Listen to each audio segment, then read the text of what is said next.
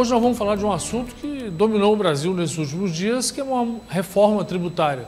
De um lado, o ex-presidente Bolsonaro tentou boicotar e mostrou uma pequena força, por outro lado, os petistas em particular estão muito animados e que fizemos uma grande coisa.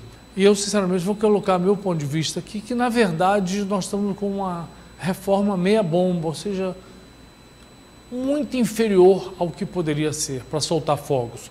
Porque a reforma tributária é algo extremamente importante quando você quer mudar ou melhorar a distribuição de renda no país. Ele é uma variável importantíssima.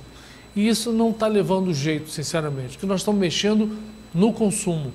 O que vai melhorar alguma coisa, porque uma série de impostos que hoje incidem em cascata, ou seja, uma certa bitributação, uma desorganização, a nossa parte tributária é muito ruim e ela está sendo reorganizada. Isso é ponto, mas é muito pouco em relação ao que poderia ser. É isso que eu, tenho, que eu tento colocar. Aí quando se pergunta ao governo, escuta, e onde é que está a questão da reforma com relação à renda, com relação ao patrimônio, aos bens, que é uma parte forte? Não, isso fica para depois. Como que fica para depois? Por que, que não entra logo agora? Não, vamos fazendo os acordos devagar. Não sei, eu estou, eu estou com muito temor de que seja uma história para inglês ver. Ou seja, vamos fazer só um H de uma que não deixa de melhorar um pouquinho mas sem tocar nos grandes aspectos, os aspectos centrais que uma reforma tributária pode ver. Você pode perguntar, e aí, isso vai ter impacto imediato? Não. Nós estamos em 2023 e só a partir de 26, 2026 é que vão começar as primeiras ações, tá? E mesmo assim elas vêm de forma gradual, que vai mexer entre 2026 a 2033.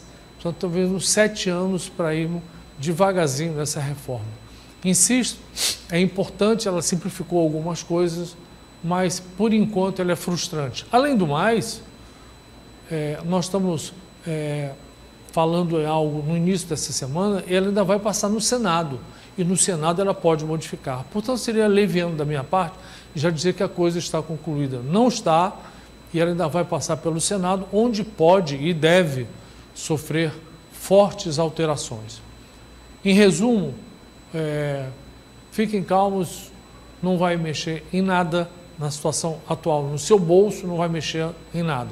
Segundo o IPEA, quando ela estiver no meio, lá entre 26, 27, 28, é, os pobres serão bem menos penalizados, porque uma série de bens típicos das classes mais baixas vão ter reduzido fortemente suas alíquotas.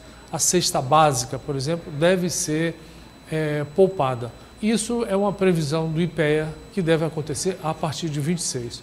Portanto, nesse momento, apesar de muitos interesses estarem em jogo, conseguiu-se fazer alguma coisinha, digo. Por isso que eu disse no início que nós estamos numa reforma tributária um pouquinho michuruca, um pouquinho é, a meio pau, portanto, não há grandes comemorações a fazer. Foi um avanço, mas um avanço extremamente tímido, vocês podem ver, está em todos os jornais, está falando isso. Nós, economistas, estamos muito divididos com relação a essa reforma tributária. Tem alguns defendendo, outros atacando, e eu tentei colocar a vocês que eu esperava mais, porque nós demoramos quase 60 anos para tentar fazer chegar a algum encontro mínimo da reforma tributária. Será que nós vamos ter que esperar mais 60 anos? Bom, a situação é essa. De qualquer maneira, na prática mesmo, no seu bolso, só em 2026.